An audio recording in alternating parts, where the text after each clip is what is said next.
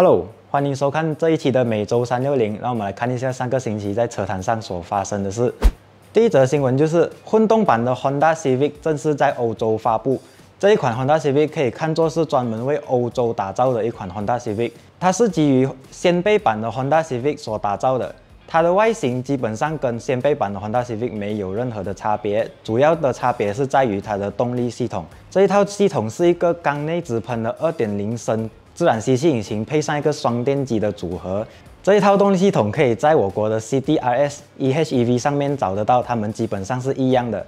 它的引擎主要是给它的电机和电池充电，而它的动力主要是由它的电机作为输出。再来就是因为它的排气量达到了二点零升，所以它的马力有一百八十一 HP，相比 HRV 的混动版本的一点八，它多了五十 HP，而它的扭力则是来到了三百一十五牛顿米，相信这个加速表现还是非常不错的。再来就是 Honda 为了提升它的纯电续航能力，他们也在电池组上做了一些升级。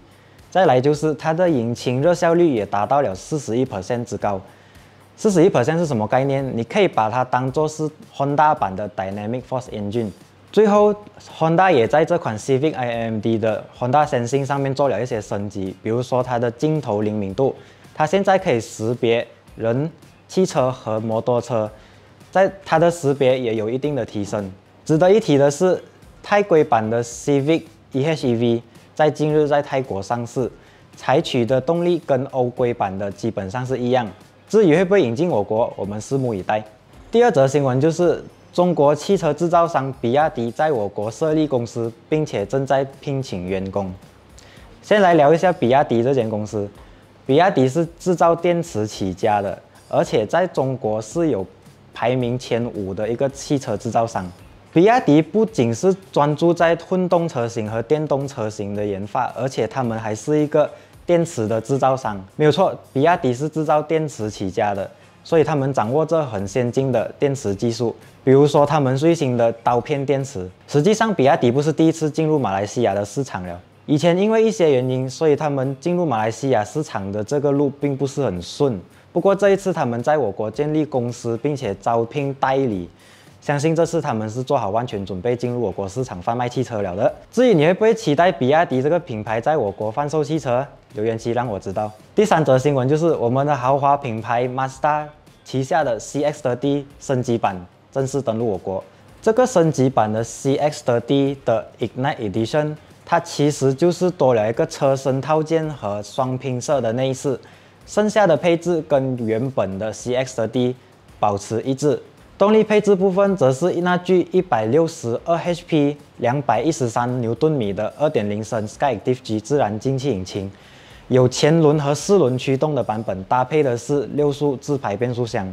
另一具引擎就是一个一点八升的柴油涡轮增压引擎，能够爆发出一百一十六 HP、两百七十牛顿米，搭配的也是一个六速的自排变速箱啦。只不过这具柴油引擎只有前轮驱动的版本。最后，这个 CX 的 D Ignite Edition 有两个版本，第一就是前轮驱动版本的，售价为十六万九千起，而四轮驱动版本则是十八万令吉起。这个售价你觉得还可以吗？留言区让我知道。第四则新闻就是，也是我们的豪华车品牌 Mazda 3的升级版正式登陆我国。这次的升级版多了一个新的颜色可以选，等下我们再讲。引擎配置还是维持着一模一样。来聊一下这个新的车身配色，叫做白金石英色。之前我们就有讲过了的，它是有点像 Rose Gold 这样粉粉晶晶的。相比起混动红的红色，它是更加优雅的一个车身配色。小姐姐看了都觉得很好看。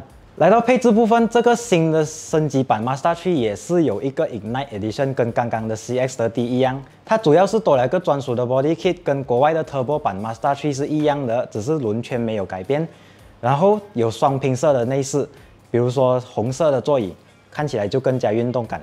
值得一提的是，二零二二年的 Mazda 3全系标配三六零景象，这是一个不错的安全配置啦，对我来讲。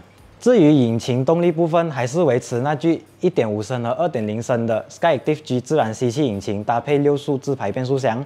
一点五升的动力是一百一十八 HP，一百五十三牛顿米；二点零升的就是一百六十二 HP，两百一十三牛顿米。二零二二年的 Mazda 3多了这个新的配色和 Ignite Edition，你会不会给它一个新的机会嘞？最后一则新闻是一个坏消息，那就是 CKD 本地组装的新车税将在明年进行调整，我们可能不会有便宜的车可以买了。其实这个新的算法早在二零一九年末的时候就被当时的政府提出，打算在二零二零年初就实行。因为一些政治因素，这项计划就被搁至二零二二年末来执行。其实这个新的算法是基于 Open Market Value 来计算，经过计算过后，新的 CKD 车型会有一个八到二十八千的价格涨幅。其实大马汽车工商会 MAA 具有表示，要求政府跟回以前的计算方式，就是不要把这个 Open Market Value 计算进去。同时，他们也有提议政府延长 SST 的税务豁免政策。理由是因为芯片短缺拖慢了新车的制造时间，这样会导致很多车主会在豁免政策结束过后都还没有拿到他们的新车。对于这个新算法的落实，MAA 也是有表示，这个汽车制造商的利润不会因此而增加，所以我们明年有可能会面临一个买贵车的困境。好了，以上就是这一期的每周三六零的全部新闻，我是志凯。如果你喜欢这期影片的话，记得在影片下方留言、点赞、加分享。我们下期再见。